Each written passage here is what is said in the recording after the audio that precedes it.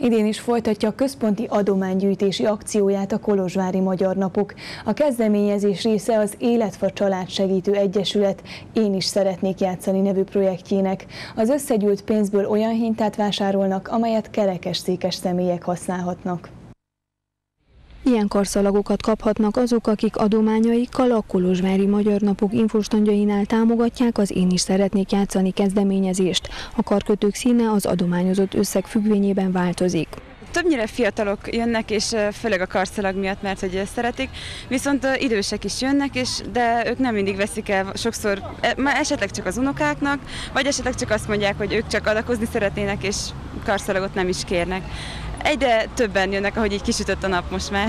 A Kolozsvári Magyar Napok szervezőiben múlt évben fogalmazódott meg a gondolat, hogy a kapott támogatásokból ők maguk is segíthetnek másoknak. Tavaly a kárpátaljai magyar iskolák megsegítésére mintegy két millió forintot gyűjtöttek. Ezt a kezdeményezést folytatva idén egy speciális hintára gyűjtenek. Bekapcsolódtunk, felkaroltuk az Életfa Család Segítő Egyesületnek az Én is szeretnék játszani projektjét, amely a fogyatékkal élők megsegítését célozta meg, és a projektnek a keretében egy olyan hintára gyűjtenek, vagyis több hintára remélhetőleg sikerül többet megvásárolni, amelyet kerekesszéken élők is tudnak használni, alkalmazni.